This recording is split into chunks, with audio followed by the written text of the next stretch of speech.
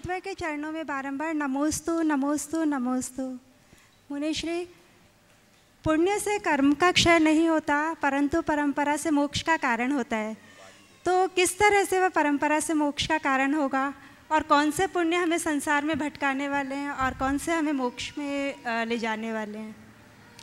पुण्य, कौन सा पुण्य हमें संसार में फंसाने वाला है?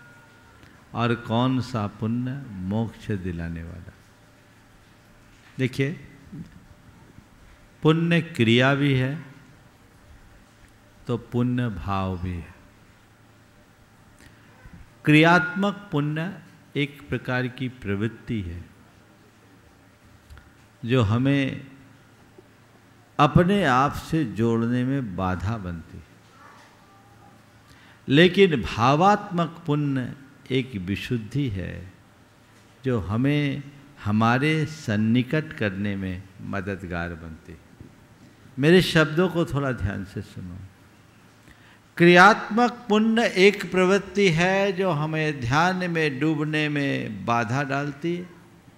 और भावात्मक पुण्य एक विशुद्धि है जो हमें हमारे सन्निकट लाने में मददगार बनती तो जब तक आप क्रियात्मक पुण्य में लगे रहोगे, आत्मा में नहीं डूब पाओगे, ध्यान, दान करोगे, पूजा करोगे, जप करोगे, तप करोगे, व्रत करोगे, उपवास करोगे, एक क्रिया है, ये अंदर नहीं डूब पाओगे। लेकिन अपने हृदय में विशुद्धि का प्रबल भाव उठाओगे, जगाओगे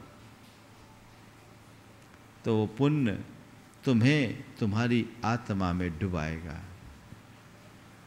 कर्म सिद्धांत की दृष्टि से एक बात कहता हूँ। जब कोई ध्यान की गहराई में डूबता है तो उसे प्रति समय अनंत गुनी विशुद्धि चाहिए।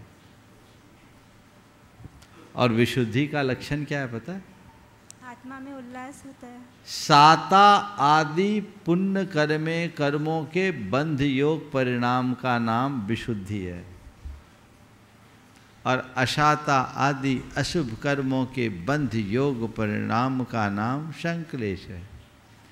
तो ध्यान की गहराई में डूबने के लिए अनंत गुणी विशुद्धि चाहिए। मतलब भावात्मक पुण्य चाहिए। ये भावात्मक पुण्य भाव रूप पुण्य पुण्य भाव की वृद्धि जितनी प्रबल होगी, आपका मोक्ष उतनी जल्दी होगा। इस अनंत गुण विशुद्धि के बाद जब वो ध्यान में डूबते हैं, उत्तरोत्तर अनंत गुण विशुद्धि और बढ़ते जाती है।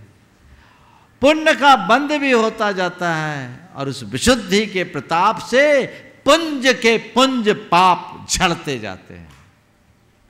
जब पाप की जड़ उखड़ती है, तब केवल ज्ञान होता है। कर्म सिद्धांत की दृष्टि से अगर विचार करे तो जब तक कोई भी जीव, जब तक सर्वोत्कृष्ट पुण्य का बंध नहीं कर लेता, तब तक उसे केवल अज्ञान नहीं होता।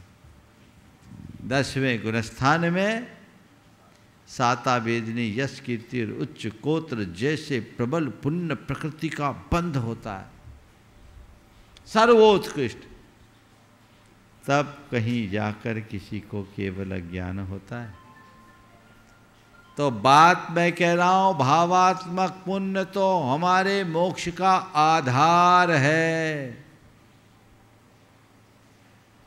इसीलिए हमारे आचार्यों ने कहा, मोक्षस्यापि परम पुण्यातिशय चारित्र विशेषात्मक पौरसाभ्याम एवं संभवात। मोक्ष की संभवता।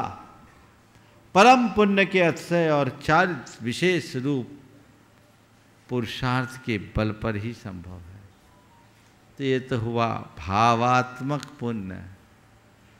अब क्रियात्मक पुण्य।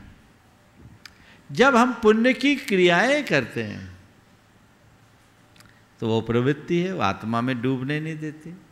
लेकिन उस क्रिया से दो लाभ होता है।